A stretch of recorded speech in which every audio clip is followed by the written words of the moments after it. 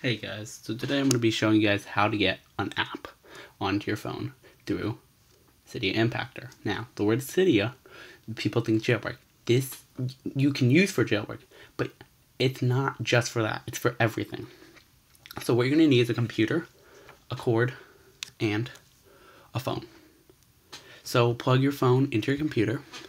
It's gonna. It may bring up iTunes. Uh, quit iTunes, but before you quit, make sure you tap trust on your phone. So it's gonna come up with, do you trust this computer? Tap trust. If it doesn't come up with any of this, you're okay. Just keep going on to next step. So first step, tap trust. Second, you're gonna go to type in on Google or wherever you would, Cydia Impactor. This is the website right here.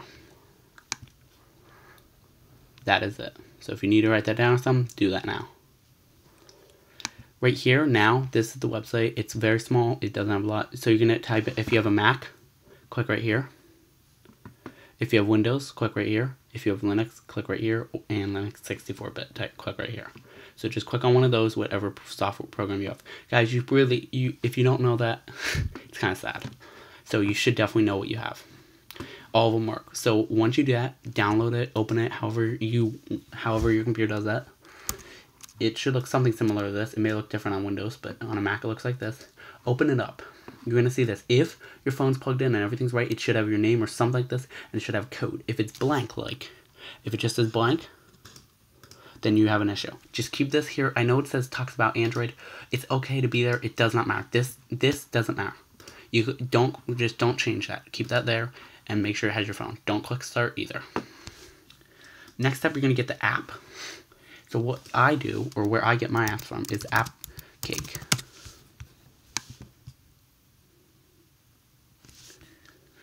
I use this for everything. So this is AppCake. It has all these apps on it. So to get the app, just search on it or something like that. Search up. This will not give you virus, guys. I assure you that. I 100% assure you. So I'm going to get an easy one. Let's just do spot If you do not find the pre, look at here we go, Spotify Premiere. If there is something that is not here, search on Google. Search on Spotify IPA because that's the file name IPA. So for right here for Spotify Premium, you're just gonna go right here. Just type in Spot. Spotify. Sorry, I can't spell that. Spotify and then Premium and then IPA. Make sure it says IPA, not IPA.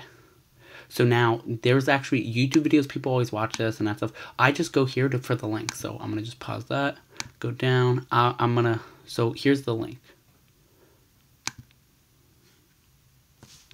Oh, wait, hold on. Disregard those guys. Um, hold on, wait, that's actually not it. Um, don't go to that one. Um, hold on. Here we go. So I'm gonna, yes, this is it. Okay. So you're gonna go here. I'm gonna um uh I will put this here's the here it is. That's the link for it, and then skip ad, and there. So if you need this one, from here you're gonna click on download. If it pops up another window, like another window, that's okay. Just close that and make sure it downloads. It's gonna download it. I already downloaded, so it's just gonna download. It's gonna look something like this, or just should say .ipa. Drag it to your desktop Okay. Now you're done with the web part. This app, just keep it here forever because, or put in your folder, something like that. Because all, because every seven days you're gonna have to do this. Next step, this is the last, or the easiest step. Grab this, just drag it over. It won't have a plus, just drag it over, just hover it over, let go. Type in your Apple ID, your Apple ID information.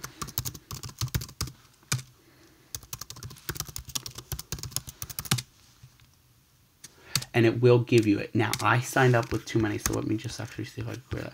But once you're done with that, if you type in everything right, you should get no errors. Just hit enter, type in your password, hit enter, and then from there you're good. It will put the app on your phone. Next, we're going to go to your phone. So on your phone, if you try to tap on an app, it's going to say something like untrusted developer. I don't think it will say that. It, yeah, but if you try to tap on it, it's going to say untrusted developer. To fix this, go to settings, Wait for it to load. Come on, come on. Go down in General. Go down to Devices, Profile, and Devices Management. And you're going to see your Apple ID is going to be under Developer App. Tap there, and you're going to tap Verify. So right where it says Delete App, it'll say verify, tap there, and tap verify. Let verify, and then go back, and you should, and tap on app, and you'll be good. So that's really all. Let me actually see if I can delete some of these.